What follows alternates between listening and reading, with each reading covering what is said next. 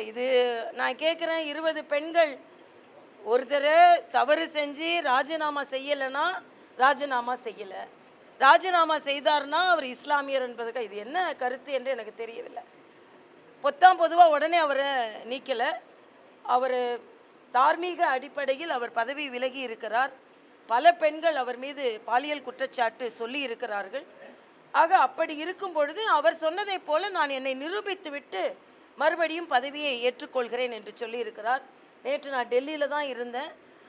கட்சி உண்மையிலேயே பெண்களுக்கு ஆதரவான கட்சி. பெண்கள் பாதுகாப்பாக இருக்க வேண்டும் என்று நினைக்கும் கட்சி. ஏற்கனவே அமித்ஷா அவர்கள் சொல்லியிருந்தார்கள். அவர் வெளிநாட்டிலேருந்து வந்தவுடனே விசாரிக்கப்பட படும் விசாரணையின்க்கு ஏற்ற தீர்ப்பு எடுக்கப்படும் என்று சொல்லியிருந்தார்கள். இன்று அவர் பதவி விலகி இருக்கிறார். அதனால் இதில் மதம் சார்ந்ததாக இதை பார்க்கக்கூடாது மானம் சார்ந்ததாக இதை பார்க்க வேண்டும். என்பது எனது கருத்து.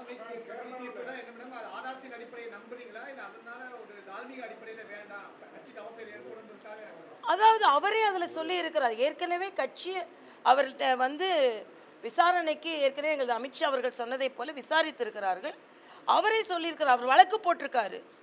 வழக்கு போட்டு இன்னைக்கு அந்த வழக்கு ஏற்றுக்கொள்ளப்பட்டு இருக்கிறது அதற்கு பின்பு நீதி எப்படி இருக்கிறது என்று பார்ப்போம். ஆனால் அவர் தார்மீக அடிப்படையில் உரிமையேற்று அவர் ராஜினாமா செய்திருக்கிறார்.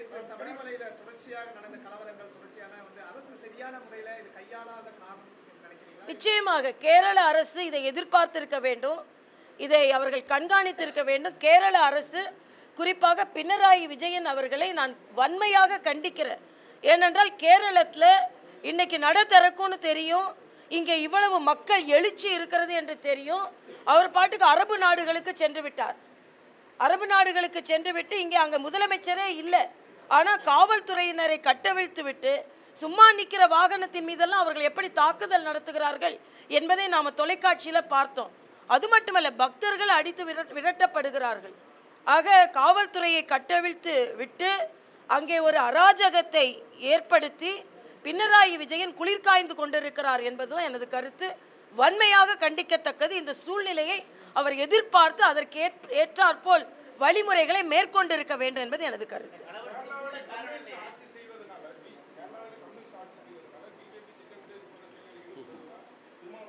அது திருமாவளவன் இதற்கு மேலே நான் என்ன கேட்குறேன்? திருமாவளவன் அவர்கள்ட்ட நான் கேட்குறேன்.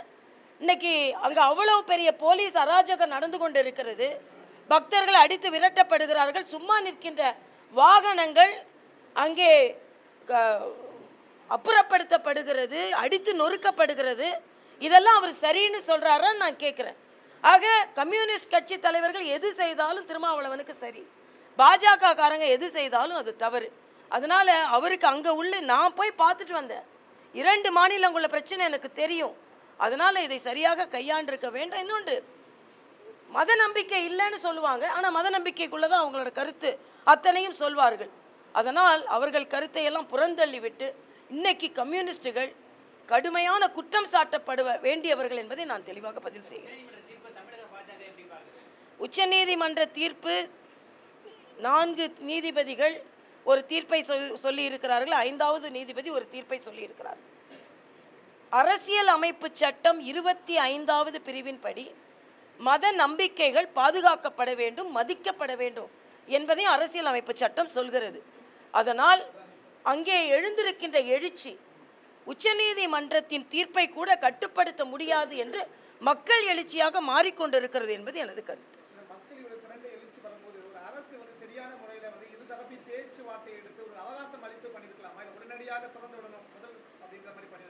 இல்லை அதில் அரசு இன்னும் கொஞ்சம் முதலிலேயே அவர்கள் ஒரு தலை சார்பாகவே கேரள அரசு நடந்து கொண்டது. மறுசீராய்வு மனு போட மாட்டோம்னு சொல்கிறாங்க நாங்கள் பெண்களுக்கு பாதுகாப்பு கொடுப்போம்னு சொல்கிறாங்க பெண்களுக்கு பாதுகாப்பு கொடுக்கறது நல்லது தான் ஆனால் பெண்களே உள்ளே போகக்கூடாது என்ற ஒரு ஒரு மிகப்பெரிய கோரிக்கை இருக்கும் பொழுது அரசாங்கம் அதை கொஞ்சம் கூட அது மட்டும் இல்லை அங்கே உள்ள தேவசம் போர்டில் இந்து மத நம்பிக்கை இல்லாதவர்களெல்லாம் அங்கே பணிக்கு அமர் அமர்த்தப்பட்டிருக்கிறார்கள். அதை எதிர்த்து எதிர்த்து அங்கே உள்ள பாஜக தலைவர் போராடி கொண்டிருக்கிறார்கள். ஆக அவர்களின் இந்து மத எதிர்ப்பு இப்படி வெளிப்படுகிறது என்பதைத்தான் நான் தெளிவாக சொல்ல இயலும். ஏனென்றால் சமீபத்தில் ஃபாதர் பிராங்கோ அவரை எதிர்த்து பெண்கள் தான் போராடினாங்க. அப்போ பெண் உரிமையை அந்த கேரள அரசு பார்க்கல. பெண்களுக்கு உரிமை கொடுக்கிறோம்னா அந்த கன்னியாஸ்திரிகளுக்கு அவர்கள் உதவி செய்திருக்க வேண்டும். அவர்களை புறந்தள்ளிவிட்டு இன்னும் சொல்லப்போனால் அவர்கள் மேலே பாலியல் குற்றச்சாட்டை போட்டுவிட்டு அந்த ஃபாதரை அவங்க காப்பாற்ற முயற்சி செய்தார்கள். ஆக அவர்களின் மதச்சார்பின்மை கூட ஒரு தலைப்பட்சது ஒரு சார்பானது என்பதை நான் இங்கே தெளிவுபடுத்துகிறேன். ஆமாம் நிச்சயமாக வேண்டுகோள் அதைத்தான் பெண்கள் இல்லை பெண்கள் இல்லை. பத்து வயதிற்கு முன்னால் இருப்பதும் பெண்கள் தான் ஐம்பது வயதிற்கு பின்னால் இருப்பதும் பெண்கள் தான். இன்னைக்கு காலையிலேருந்து எல்லா ஐயப்பன் கோயிலையும் பெண்கள் வழிபாடு நடத்தி வைத்தவர்கள் அந்த ஒரு ஐயப்பன் கோயிலில் மட்டும் காலம் காலமாக ஆண்டாண்டு காலமாக அங்கே அந்த பழக்கம் இருக்கும் பொழுது அதுக்கு மதிப்பு கொடுக்க வேண்டும் என்பதும் அந்த இந்து மதம் மேல நம்பிக்கை இல்லாதவர்கள் பிக்னிக் போற மாதிரி நாங்களும் பையன் மாட்டிக்கிட்டு போறேன்னு சொல்றதெல்லாம் மிக அபாயகரமானது.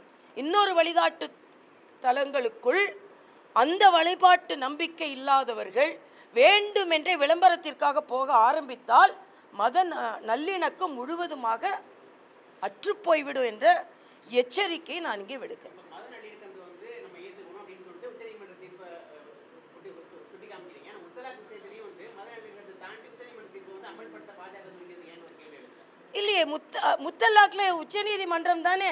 அந்த இஸ்லாமிய சகோதரியே ஒருவர் எங்களுக்கு இப்படிப்பட்ட அநீதி இழைக்கப்படுகிறது என்று சொல்லி இருக்கிறார்கள் இல்லையா? அது முத்த அது அதற்கு எதிராக அவ- அவர்களை சார்ந்தவர்களே அதற்கு ஒரு வழக்கு போட்டு இருக்கும் பொழுது அந்தந்த விஷயத்தை அந்தந்த விஷயத்துக்காக தான் பார்க்கணும். நீங்கள் நான் கேட்குறேன் ஜல்லிக்கட்டு நம்மெல்லாம் போராடணும். எல்லாரும் போராடணும் இல்லையா? ஜல்லிக்கட்டு உச்சநீதிமன்றத்தில் உச்சநீதிமன்றம் தான் ஜல்லிக்கட்டு வேணாம்னு சொல்லுச்சு. பாஜக அரசு சொல்லவே இல்லை. ஆனால் மக்கள் எழுச்சி உச்சநீதிமன்ற தீர்ப்புக்கு எதிராக தான் இருந்தது. ஆக அதை போலத்தான் இதுவும் என்பது எனது கருத்து.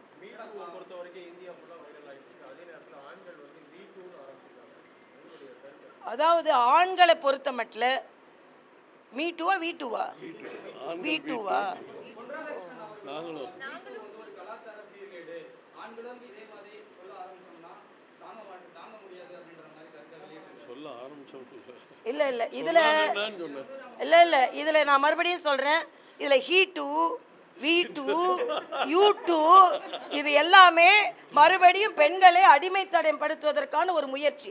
நான் இப்படி சொல்லிடுவேன். அதனால் நீ சொல்லாதேன்னு சொல்கிற மாதிரி இருக்குது அதனால பெண்களுக்கு இன்னைக்கு வெளியே வந்து கொண்டிருக்கிற பெண்களுக்கு என்ன தளம் இருக்குது ஒரு இணையதளம் இருக்குது அதனால நான் மீ டூக்கு முழு ஆதரவு கொடுக்குறேன். ஏனென்றால் பெண்கள் இப்பொழுதுதான் வெளியே வராங்க. நான் செவ்வாய்க்கிழமை செவ்வாய்க்கிழமை மக்கள் சந்திப்பு நடத்துகிற உண்மையிலேயே நான்கு பெண்கள். இதுவரைக்கும் எங்களால் வெளிச்சொல்ல முடியாத ஒரு பிரச்சனையை வந்து சொல்கிறாங்க ஆக பெண்கள் வெளிக்கோண வெளியே வர ஆரம்பித்து இருக்கிறார்கள் ஆக ஹீ டூ யூ டூ என்ன வேணாலும் ஆரம்பிச்சுக்கோங்க. ஆனால் மறுபடியும் பெண்களை நாங்கள் உங்களை இழுப்போன்னு சொல்கிறது மறுபடியும் பெண்ணடிமைத்தனத்திற்கு வழிவகை செய்வதற்கும் எச்சரிக்கை செல்வது செய்வதற்கும் உதாரணமாக இருக்கிறது என்பது எனது கருத்து. பெண்கள் பல துறையில் வரும்பொழுது அவர்களுக்கு உள்ள உரிமை கொடுக்கப்பட வேண்டும். ஒன்று ரெண்டு தவறாக வேணால் சொல்லலாம். ஆனால் இன்னைக்கு அக்பர் வழக்கு போட்டார். இங்கே உள்ள கவிஞர் என்கிடம் பலத்த ஆதாரம் இருக்கிறது. அசைக்கவே முடியாத ஆதாரம் இருக்கிறது என்று சொல்கிறார். வழக்கமாக சொல்கிறாரே தவிர வழக்கு பக்கம் போக அவருக்கு துணிச்சல் இல்லை திராணி இல்லை. ஆனால் இதற்கு என்ன பதில்? நீங்கள் என்னைக்கு மீட்டு பற்றி இவ்வளோ கேட்குறீங்க அண்ணன் ஸ்டாலினோட பதில் என்ன? திருமாவளவனோட பதில் என்ன? வைரமுத்துவ பின்புலமாக வைத்துக்கொண்டு தமிழ் உணர்வாளர்கள் என்று சொல்லிக் கொண்டிருப்பவர்களின் பதில் என்ன? பாரதி ராஜா மாதிரி நான் பதில் சொல்ல மாட்டேன். நீ என்ன சிசிடிவி கேமரா வச்சு தான் எல்லாரும் தப்பு செய்கிறீங்களா அப்படி கிடையாது. இல்லை அதாவது அது அந்த நேரத்தில் அப்போ திட்டணும்னு சொல்கிறீங்களா நீ இப்படி இருப்பட்டணும் அப்படின்னு இல்லை. ஒரு ஆசீர்வாதம் வாங்குறது ஒரு பெரியவர் என்பதன் முறையில். அது- அது அப்படி அது தவறு தவறு தவறு. ஆக நீங்கள் இப்போ இதெல்லாம் விசாரிச்சுட்டு இருக்கிறதுல அவர்கள் ஒரு பெரியவர் என்ற முறையில் அழைத்திருப்பார்கள். மனதிற்குள்ள எவ்வளோ பிரச்சனை இருந்தாலும் அதை வெளிக்கொணராமல் இருப்பதற்கான சூழ்நிலைகள் இருக்கும். இன்னைக்கு வெளிக்கொணர்வதற்கான சூழ்நிலை வந்தது. காலில் விழுந்துட்டாங்கன்றத உடனேயே எல்லாத்துலேயும் விழுந்துட்டாங்கன்னு சொல்ல முடியாது. அந்தந்த சூழ்நிலையில் ஒரு பெ- ம- பெரியவருக்கு மரியாதை கொடுக்க வேண்டும் என்று சொல்லியிருப்பார்கள். ஆனால் இன்னைக்கு நம்ம சொல்றோம்ல அழைத்தார்கள் என்பதை நாம நம்புறோம். அப்போ இன்னைக்கு பிழை செய்தார் என்று சொல்லும்பொழுது ஏன் அதை நம்ப மறுக்கிறோம்? அப்போ அழைச்சா அதனால் நீ அன்னைக்கு அழைச்சேன்ன. அந்த பெண் சொல்வதில் உள்ள இருக்கிறது ஆறா? ஏன் இப்போ சொல்றீங்க? அப்போ சொல்றீங்க. என்னை பொறுத்த மட்டில் பெண்கள் இன்று வெளியே வருவது ஒரு ஆரோக்கியமான சூழ்நிலை. இப்படிப்பட்ட பாலியல் குற்றச்சாட்டுகள் நிச்சயமாக புறந்தள்ளப்பட வேண்டும். மிக கடுமையாக இன்னைக்கு எங்க ஆட்சி? இன்னைக்கு அக்பரை பதவி விலக சொல்லி இருக்கிறார்கள் உள்துறை சார்பாக அதே போல பெண்கள் நல வாரியம் சார்பாகவும் என்ன சொல்லியிருக்கிறார்கள் என்றால் இதற்கென்று ஒரு குழு அமைக்கப்படும். அந்த குழு விசாரிக்கப்படும். அதனால என்னை பொறுத்த மட்டில் வெளிக்கொணர முடியாத பெண்கள் இன்று பேச ஆரம்பித்திருக்கிறார்கள் என்பது எனது கருத்து.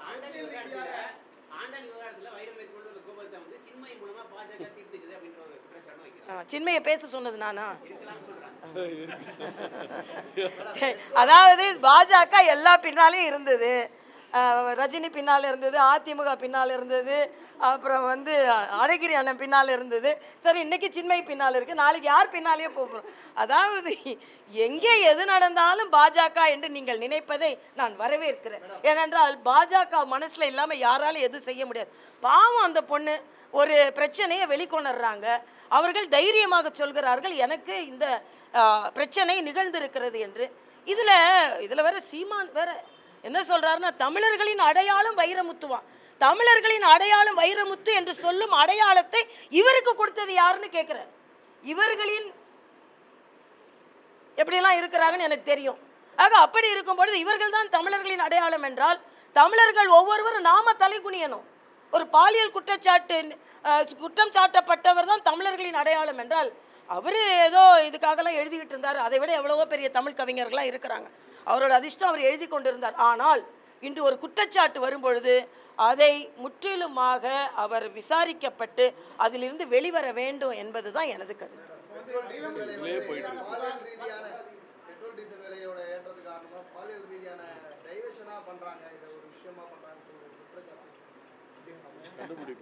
அதாவது இது மீட்டு ஆரம்பிச்சது பிஜேபிக்காரங்க கிடையாது.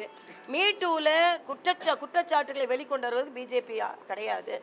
இன்னைக்கு மீட்டு வேற பெட்ரோல் டீசல் விலை வேற. பெட்ரோல் டீசல் விலை குறைக்கப்பட வேண்டும் என்பதில் எந்த மாற்று கருத்தும் இல்லை.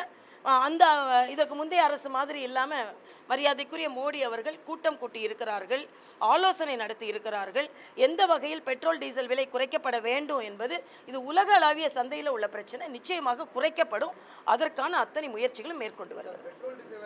காங்கிரஸ் ஆட்சி காலத்துல நீங்க எதிர்த்து பிரச்சாரம் பண்ணியோ போராட்டமும் பண்ணீங்க கரெக்டு இன்னைக்கு அதை விட அதிகமா இருக்கு. பெட்ரோல் பாண்டு இப்ப வெளியிட்டாங்க எந்த வருஷத்துக்கு. சூழ்நிலையில மத்திய அரசு இருக்கு. ஒவ்வொரு வருஷமும். இது எப்படி குறைக்க போறீங்க? இல்லை அது நான் அதுக்கு- நான் மக்களோடு தான் நாங்கள் நின்று கொண்டு இருக்கிறோம். காங்கிரஸ் ஆட்சி காலத்தில் நீங்கள் பார்த்தீங்கன்னா உலக அளவில் பொருளாதார தடையெல்லாம் இல்லை. இன்னைக்கு ஈரான் மேலே பொருளாதார தடை இருக்கு.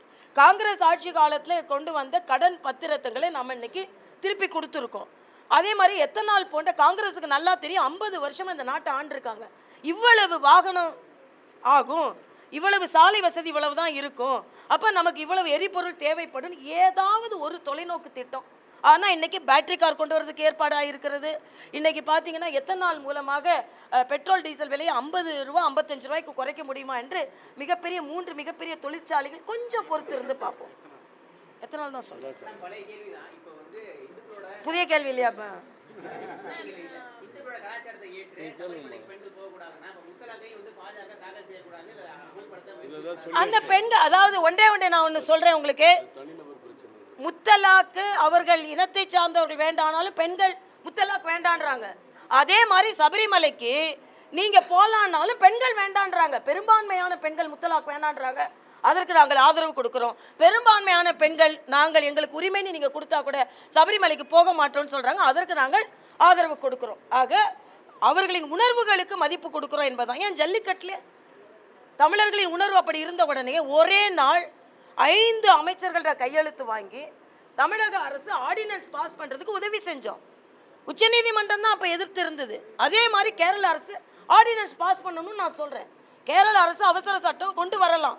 ஆனால் பினராயி விஜயன் வேண்டுமென்றே இதை தனது கொள்கைக்கு ஆதரவாக எடுத்துக்கொண்டு இந்து மத எதிர்ப்பு உணர்வை மனதில் வைத்துக்கொண்டு அவர் செயலாற்றுகிறார். நீரோ மன்னன் எப்படி ஃபிடில் வாசித்து கொண்டு இருந்தாரோ அதே போல இங்கே கேரளா பற்றி எரியும் பொழுது அங்கே அரபு நாடுகளுக்கு சென்று குளிர்காய்ந்து கொண்டிருக்கிறார் என்பது எனது தெளிவான குற்றச்சாட்டு.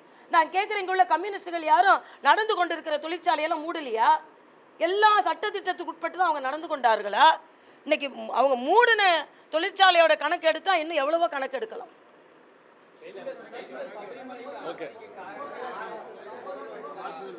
அதாவது கி வீரமணி வேற என்ன சொல்லுவார்? ஆர்எஸ்எஸ்க்கு பாராட்டி மாலையா போடுவார். ஆனா ஒன்றை நான் இங்க சொல்றேன். சகோதரர்களே ஆயுத பூஜை என்பது நமக்கு காலம் காலமாக உதவி செய்யும் ஆயுதங்களுக்கு பூஜை செய்வது. நாங்கள் மருத்துவர்களாக இருக்கும்போது ஆப்ரேஷன் தேட்டருக்குள்ளே ஸ்டெர்லைசேஷன் உண்டு. ஆனாலும் அங்கே பூஜை செய்வேன்னா ஒரு வருடமா நோயாளிகளை காப்பாற்றுவதற்கு அந்த கத்திரிக்கோள் அந்த கத்தியும் தான் நமக்கு உதவி செய்கிறது என்று. ஆனால் இன்னைக்கு அரசாங்க அலுவலகங்கள்லையும் காவல்துறை அலுவலகங்கள்லையும் ஆயுத பூஜை கொண்டாடக்கூடாது என்று அரசாணை பிறப்பித்தது வன்மையாக கண்டிக்கத்தக்கது. சில தீக்காக்காரங்க வந்து எதிர்ப்பு தெரிவிக்கிறாங்க என்பதற்காக அரசாங்கம் அடிபணிந்திருக்க கூடாது அடிபணியவும் கூடாது. இது வந்து இந்து மதம் சார்ந்தது அல்ல ஆயுதம் சார்ந்தது. ஆன்மீகம் சார்ந்தது ஆயுதம் சார்ந்தது. மதம் சார்ந்தது அல்லவே அல்ல. மனிதம் சார்ந்தது. தொழிலாளர்கள் சார்ந்தது தொழில் சார்ந்தது. அதனால் இதை ஏதோ இந்து மத நிகழ்வாக ஏற்று இப்படி சொன்னது மிக தவறு. ஏற்கனவே நம்ம துப்பாக்கி கிப்பாக்கிலாம் எப்போ தான் எடுத்து வெளியே வைப்போம். அது வேறு எனக்கு அதுவும் இல்லைன்னா ரொம்ப கஷ்டம். அதனால் இன்றைய சூழ்நிலையில் ஆயுத பூஜை நடைபெற வேண்டும். அரசாணை பிறப்பித்தது மிக தவறு. காவல்துறை அதிகாரிகள் அதற்கு ஏற்பாடு செய்தது மிக மிக தவறு. அதனால் வெள்ளை மாளிகையில் தீபாவளி கொண்டாடுறாங்கங்க. கொஞ்சம் பேர் இருந்தாலும் அவர்கள் உணர்வுகள் மதிக்கப்படணும் ஆனால் இன்னைக்கு பெரும்பான்மை மக்கள் தங்களது பண்பாட்டிற்கும் பழக்க வழக்கத்திற்கும் போராட வேண்டிய அவல நிலை வந்திருக்கிறது. இதை எதிர்த்து பாஜக தெளிவாக போராடும் என்பது எனது கருத்து.